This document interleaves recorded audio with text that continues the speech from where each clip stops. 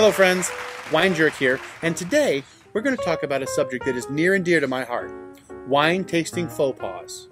Let's go over a few of the more common mistakes and get you prepared for the next time you taste wine. Let's start at the beginning. We are here to taste and smell the wine, not to smell you. So, no heavy colognes or perfumes, or hair products or lipstick. Basically, anything that adds extra flavors and or smells to the wine. It doesn't do you any good to go home and then all your wine notes say, smelled like Chanel number 5. Be clean.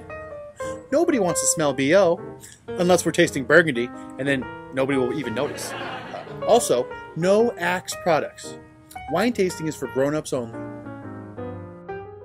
When we pour during a tasting, we only pour a small amount into the glass, just perhaps an ounce or two. Uh, this will give the wine some room in the glass so that we can kind of swirl it around and get a good look at it. Swirl, sniff, repeat, and so forth. Um, too much wine in the glass, and it becomes very easy to spill the wine. During red wine tastings, this is another reason why I always recommend that you wear black clothing. And we all have cousins like this, always about two minutes away from putting you in a headlock, I'm telling you how much they love you. Also, the purpose of our tastings is to educate rather than imbibe. You don't need me to open a bottle of wine and drink it. If you can gulp down a bottle of wine in three sips, you should probably just stay home anyway. Let's look at the wine glass itself.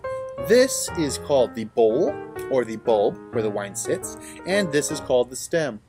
We hold the wine by the stem so that we can get a good look at the color of the wine. Uh, kind of like a, a Jedi wine move here.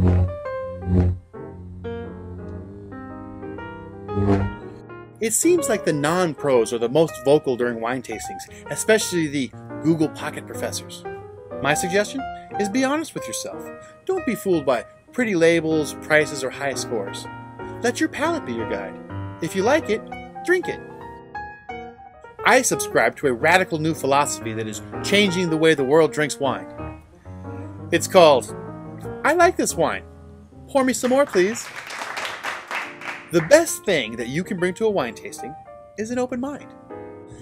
Perhaps a designated driver. Okay, so let's talk about what we've learned today. Uh, don't wear heavy perfumes or colognes or any other odor maker that takes away from the wine.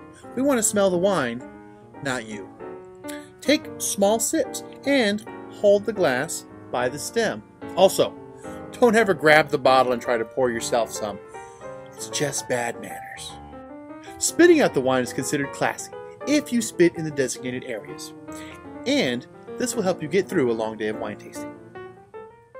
Also, don't be swayed by others' opinions. Have confidence and taste for yourself. If there's anything I can impart to you, it's this. You'll never find a wine that you love or a wine that you hate unless you taste it. I hope this has been helpful for somebody. I'm the Wine Jerk, and I'm out.